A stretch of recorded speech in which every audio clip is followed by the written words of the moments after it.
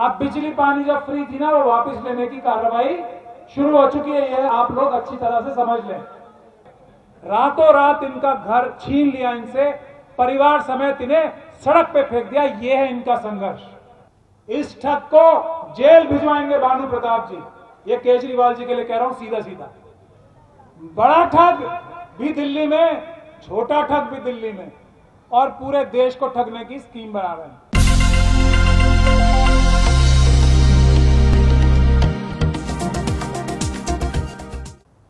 ये आप mission save constitution का नाम पढ़ रहे हैं ऊपर।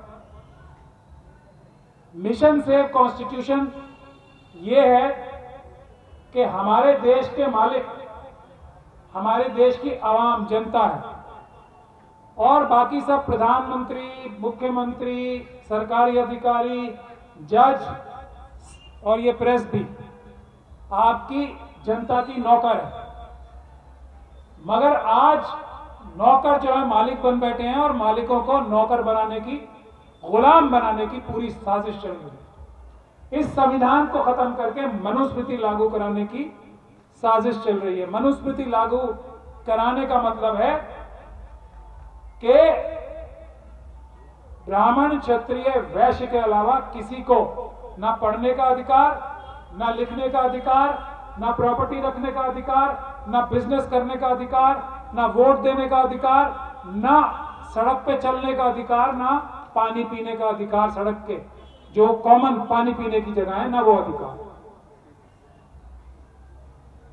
तो उस संविधान को बचाने के लिए जो बाबा साहब डॉक्टर भीमराव अंबेडकर ने इतनी कुर्बानियाँ देकर बनाया था, इंसाफ और बराबरी कायम करने के लिए, हम सबको देश का मालिक बनाने के लिए यह मिशन सेव कॉन्स्टिट्यूशन बनाया गया है।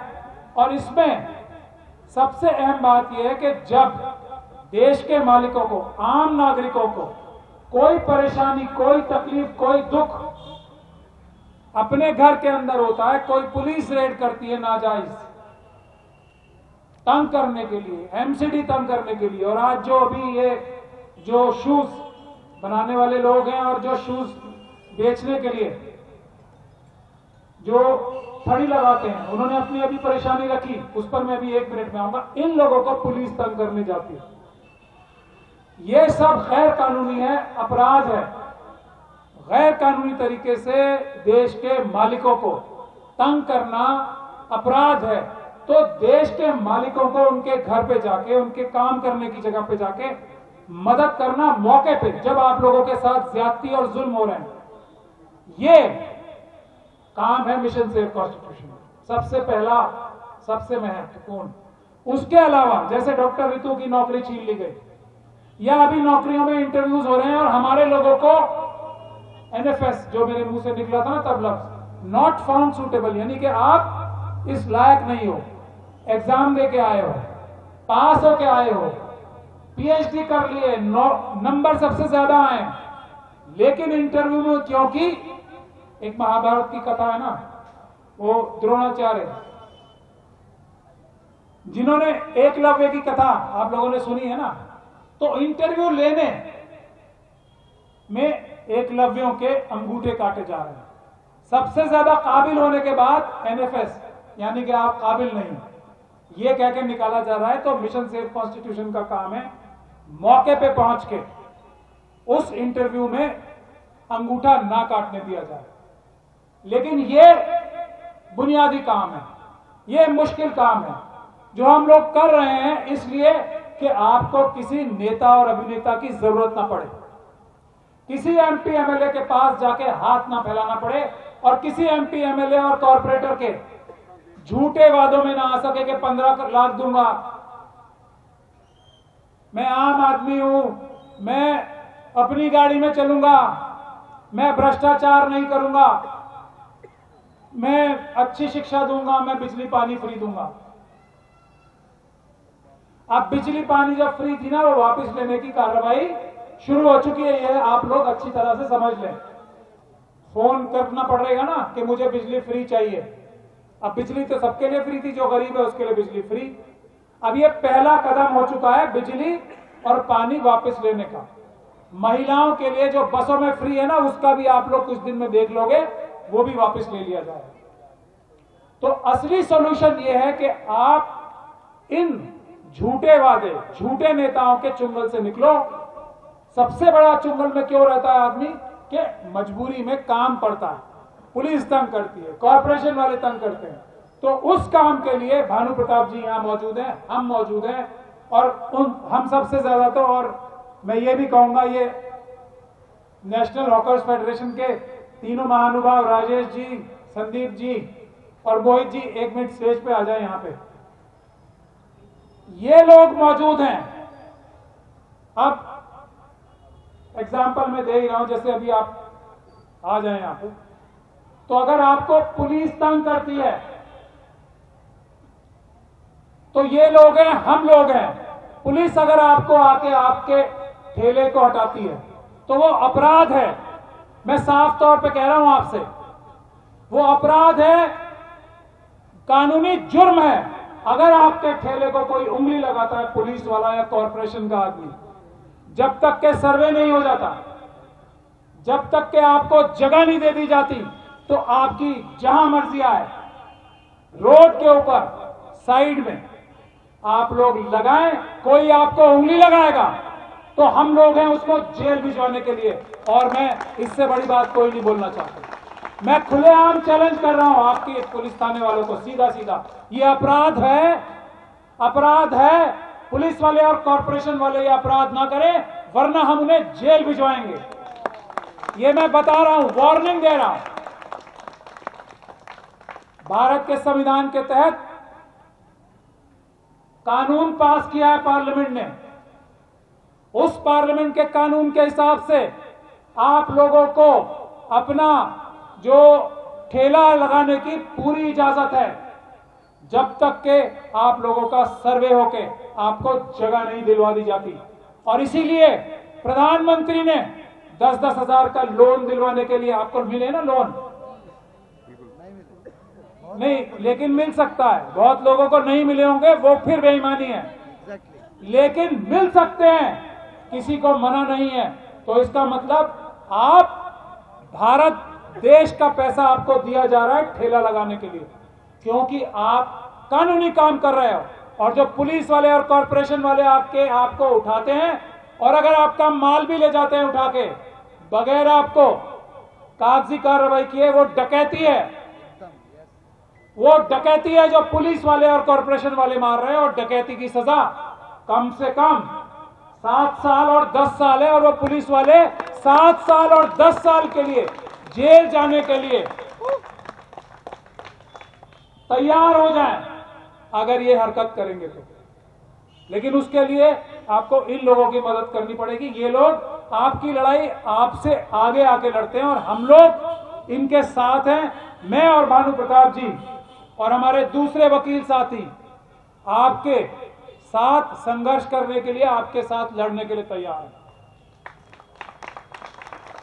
ये हम वादा कर रहे हैं। लेकिन ये लंबी लड़ाई है।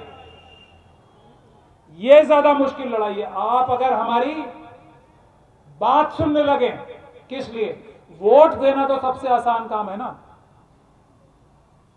उसके लिए तो पुलिस की लाठी रही जैसे हमारे भाई खाते हैं।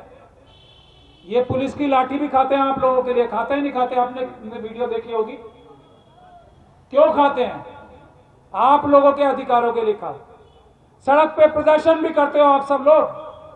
और बहरूपियों के ठग ठग बोला जा रहा था ना अभी किसी को।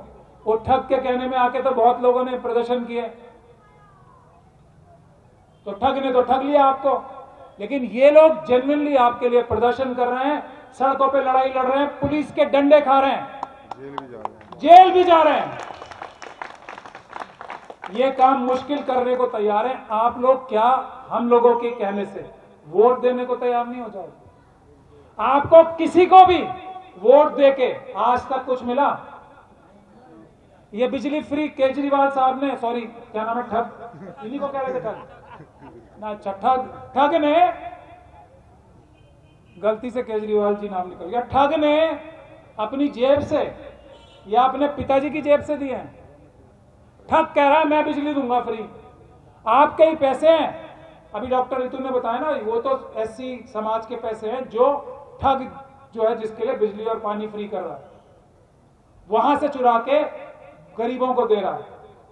और वो भी विड्रॉ होने वाला है, क्योंकि बिजली कंपनी वालों ने ये कहा है कि, ठग महोदय, जितना पैसा आपने हमें दे दिया एक रुपए की बिजली माफ़ की ना आपकी तो दस रुपए बिजली कंपनी वालियों को दे दिए। ठीक है? तो ठग महोदय, हम दस रुपए में हमारा पेट नहीं भर रहा, आपका पेट भी नहीं भर रहा, अब हम सारा का सारा गरीब लोगों से भी बिजली के भी पैसे लेंगे और आपस में बांट लेंगे, यही हो रहा है। और एक और बहुत बड़ा, एक जेल में भी है, उसके ऊपर ठगी का इल्ज़ाम है, वो तो साबित नहीं हुआ। उसने ये कहा है कि मुझसे भी बड़े ठग ने साठ करोड़ रुपए ले लिए मुझसे।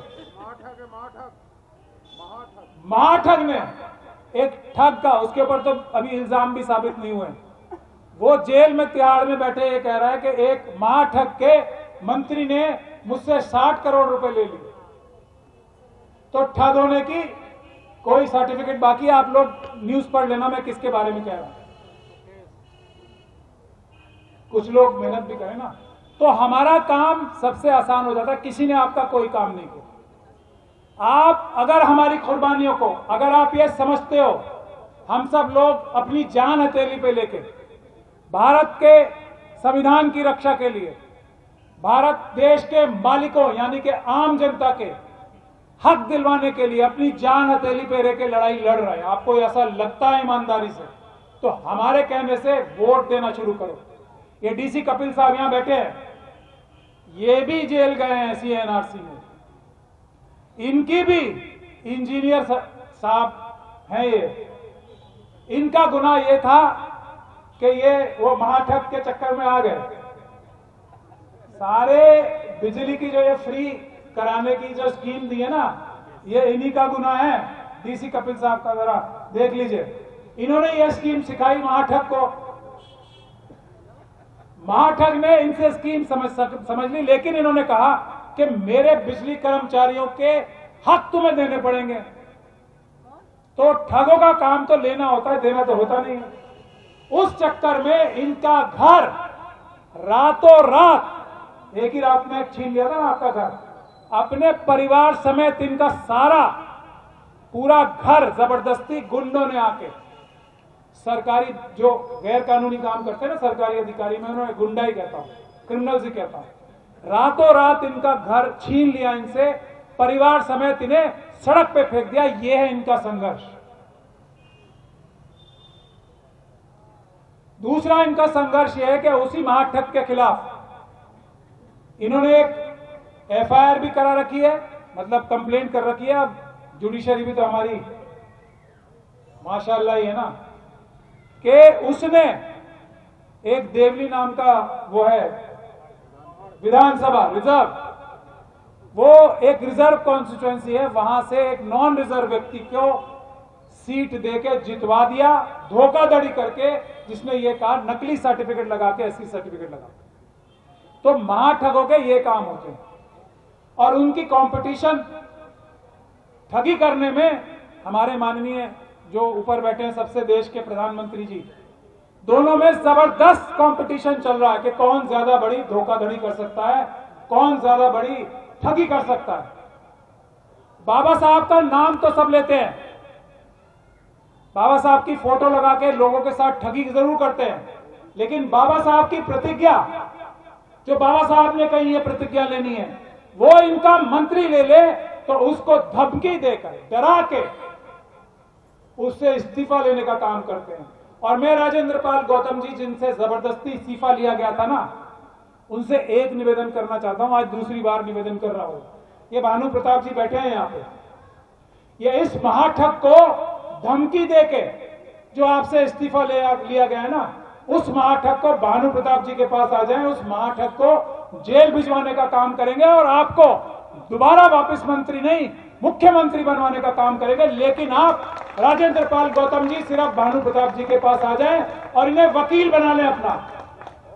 ये ठग जेल जाएगा बाबा साहब के, की प्रतिज्ञा लेने वालों का इस्तीफा लेगा, ज़बरदस्ती ये।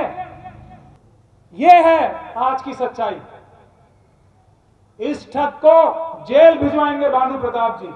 ये केजरीवाल जी के लिए कह रहा हूँ सीधा सीधा क्योंकि धमकी देके बाबा साहब की प्रतिज्ञाएँ लेने की वजह से धमकी दे के डरा के धमका के इस्तीफा लिया है। और राजेंद्र पाल गौतम जी बोल नहीं पा रहे हैं, हम समझते हैं वो सबरांत व्यक्ति है, सीधे शरीफ व्यक्ति है।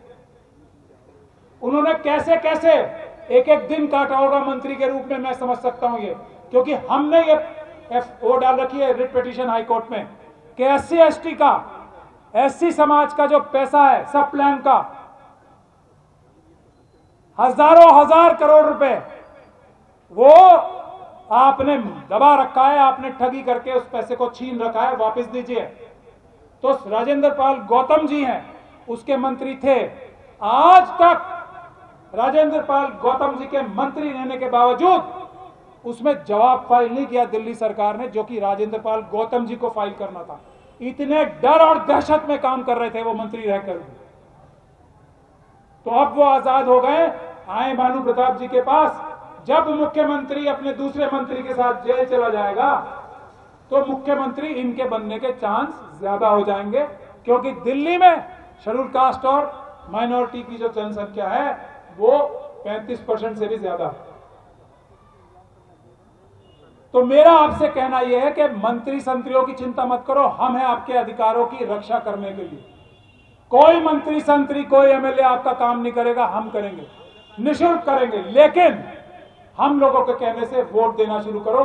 अच्छे लोगों के लिए वोट देना शुरू करो, चाहे वो इंडिपेंडेंट ही क्यों नहीं लड़ रहे। कोई फ़र्क नहीं पड़ता। और आपको किसी ने कुछ दिया भी नहीं है आज तक। अपना आदमी होगा, दर्दमंद होगा, आपके साथ खड़ा रहेगा और जो आज आपको जो धोखा मिल रहा है ना कि शायद ये मिल जाएगा, वो मिल जाएगा।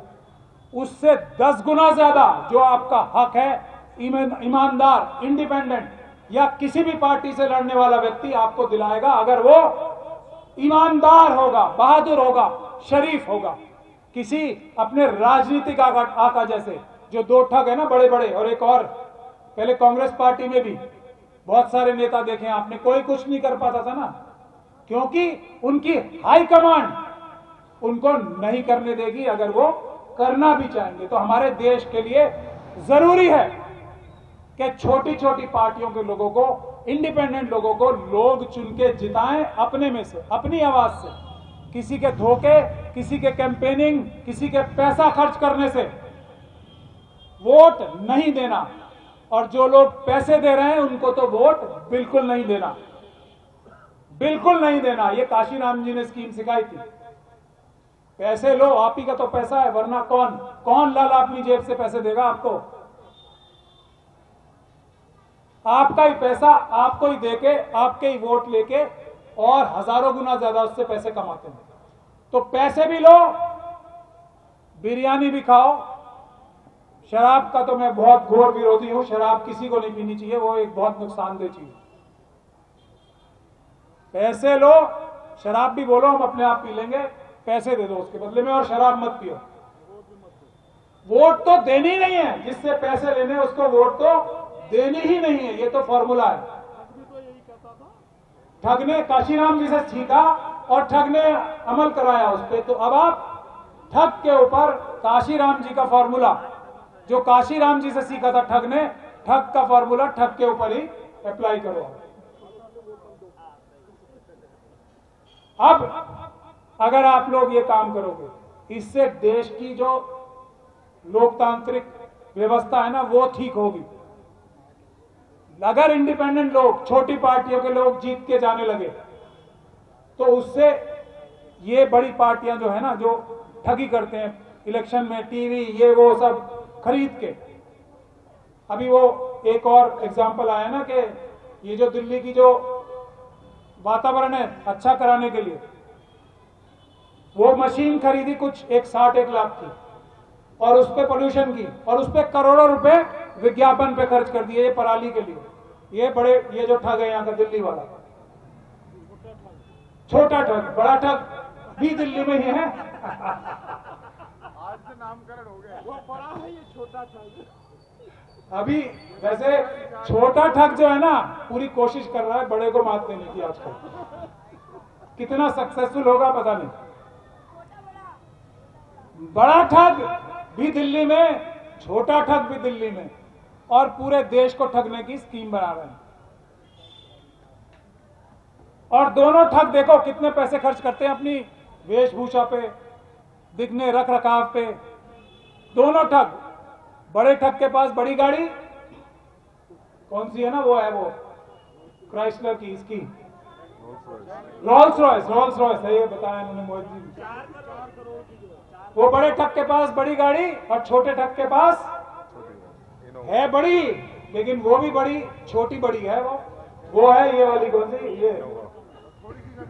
ये ये वाली। एमजी वाली। ग्लॉस्टर। ग्लॉस्टर लिए ठग ने छोटे ठग ने वेगन आर से ग्लॉस्टर लिए और एक ने चाय पिलाते पिलाते ट्रेन से रॉयल्स रॉयस लिए। अब देखिए दोनों की वेशभूषा बनाने पे। छोटे ठग की और बड़े ठग की। पहले शक्ल देखी थी आपने सबकी? एक की बड़े ठग की जो आज वाली पोजीशन पे जाने से पहले और ये छोटे ठग की शक्लें देखी थी ना दोनों की।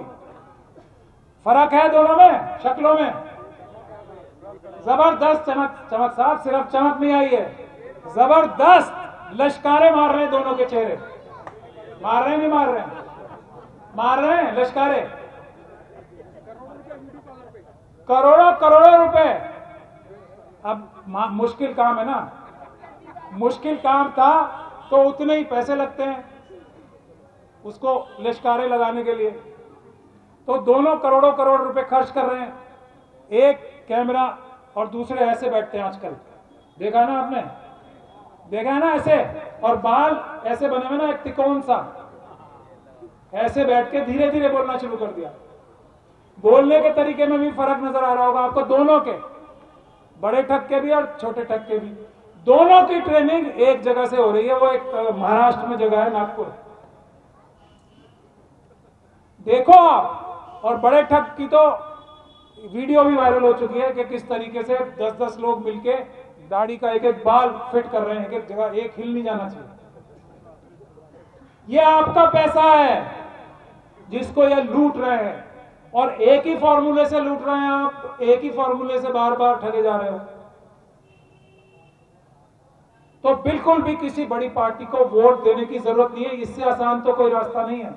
ना लाठी खानी है, ना गोली खानी है, ना संघर्ष करना है, ना कुछ करना है। और ये सबसे बड़ा सोल्यूशन है जो बाबा साहब ने दिया। सबसे बड़ा समाधान है जो बाबा साहब ने दिया। एक वोट हर एक को नहीं मिल रहा था। बाबा साहब की देन है। अब वो दिया है और हम उसका इस्तेमाल ही नहीं कर रहे। तो जो भी पैसे देगा, उससे पैसे एक तो ज़्यादा लेने ये मैं इंप्रूवमेंट कर रहा हूँ, ठग के फॉर्मूले में। कोई अगर एक हज़ार रुपए दे रहा है तो उससे कहना, भाई, बहुत कम है, दस दे। कम से कम। कम से कम दूसरी वाली पार्टी वाली दो दो बड़ी ठगों की पार्टी है ना, आजकल तीसरी वाली थोड़ी कमज़ोर हो गई। उसके जो ऑफ़िस बेरर थे ना, वो पार्टी का सारा पैसे लेके भाग गए। कांग्रेस पार्टी की बात बता तो पार्टी को तो कमज़ोर कर दिया और उसके मेंबर्स ने जो बड़े बड़े अहदों पे थे, वो सब पैसा लेके भाग गए तो वो थोड़ी आज कमज़ोर हालत में, लेकिन पैसे उससे भी लेने तीनों से लेने और वोट जिससे पैसा लेना है, उसको नहीं देना है।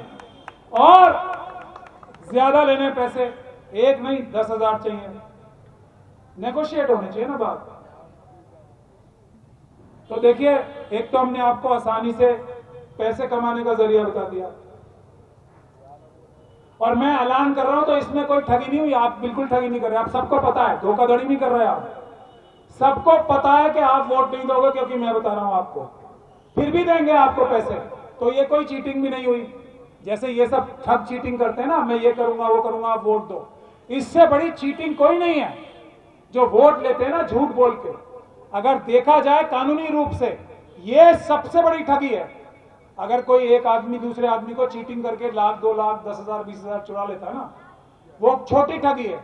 ये जो प्रधानमंत्री बनने के लिए पंद्रह लाख के वादे करते हैं, बेरोजगारी दूर करने की बात करते हैं, दो करोड़ नौकरियों की बात करते हैं, ये बहुत बड़ी ठगी है, सबसे बड़ी ठगी है। ये 400 बीसी है, सबसे बड़ी। लेकिन उसका टाइम जब ही आएगा, जब आप, हम जैसे लोग सत्ता में आएँगे, तब हम बताएँगे कि ये काम तुम कर ही नहीं सकते। वो बोलो जो कर सकते हो। जैसे अगर हम बोलेंगे, हम बिजली पानी फ्री करेंगे तो करेंगे। हम ट्रांसपोर्ट फ्री करेंगे तो करेंगे। और बगैर चीटिंग करे करेंगे। हम शिक्षा सबकी फ्री करेंगे और ये जो प्राइवेट स्कूल हैं, हम इन सबको राष्ट्रीयकरण करेंगे। ये ठग नहीं करेंगे। हम लोग जब आएँगे, लेकिन उसकी शुरुआत तो कहीं ना कहीं से होनी है। तो आप लोग हम लोगों की बात सुन के अगर वोट देना शुरू करोगे अगर हम पे भरोसा है तो तो उससे फ़ायदा होगा। हम लोग आपको धोखा नहीं देंगे। अपने यहाँ का नुमाइंदा जो आ, आने वाले कॉरपोरेशन के चुनाव है उसमें अपना आदमी जो किसी बड़ी पॉलिटिकल पार्टी से ना हो उसको चुने ऐसे लोगों को चुने जो डीसी कपिल साहब की तरह कुर्बानियाँ देने को तैयार हैं, जो इन सब लोगों की तरह पुलिस से लड़ने को तैयार हैं, आपके अधिकारों की तरह के लिए ऐसे लोगों को चुने, आपके जो भी काम हैं या नहीं है, ये जीतेंगे तो इनसे दस गुना ज़्यादा कराएँगे जो ये बड़ी बड़ी पार्टियों वाले करते हैं आपकी आपकी, आपको बेवकूफ़ बना के जो वोट लेते हैं। और हम लोग तो हर हालत में आपके साथ हैं आपको किसी भी नेता, अभिनेता की ज़रूरत नहीं है जब तक हम लोग मौजूद हैं आपकी हर परेशानी और समस्या का हल करने के लिए। बहुत बहुत शुक्रिया। खुदा हाफिज। जय भीम। जय भारत। जय संविधान।